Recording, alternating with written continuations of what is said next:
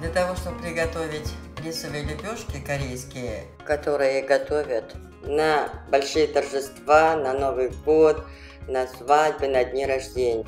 нужно камди.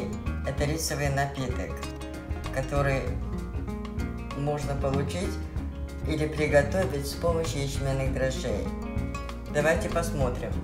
И нужно быть осторожнее, потому что если этот рисовый напиток набрал силу, то будут газы. И у нас уже был опыт, когда мы открутили пробку, сразу все вылилось фонтаном.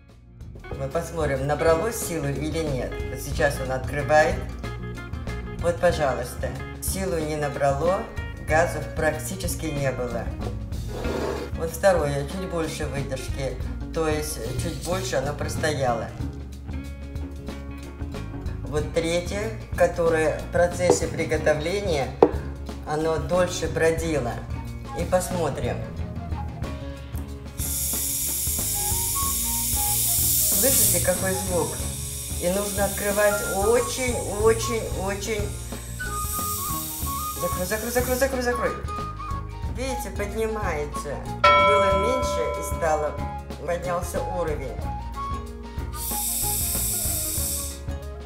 Сила этого рисового напитка очень сильная, газ, газы внутри есть.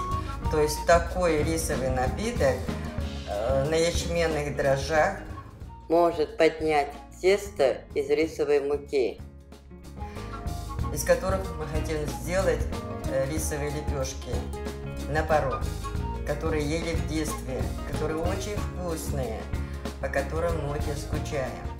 Ну что, поехали? Сейчас покажем, как это мы делали.